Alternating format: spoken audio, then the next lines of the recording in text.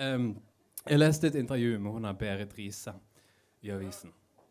Berit Riise er moren til Jon Anne Riise og er Bjørn Helge Riise. Hun skrøt sånn over at hun hadde så kjempegodt forhold til sine to sønner. Hun hadde så godt forhold til dem at hun visste når de to hadde sex.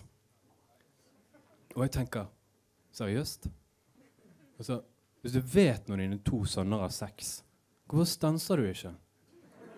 Altså, de er søsken. Søsken skal ikke ha sex i det hele tatt. Men det er jo denne Riise-familien, altså. Hun hadde så godt forhold til dem at hun visste når de to hadde sex.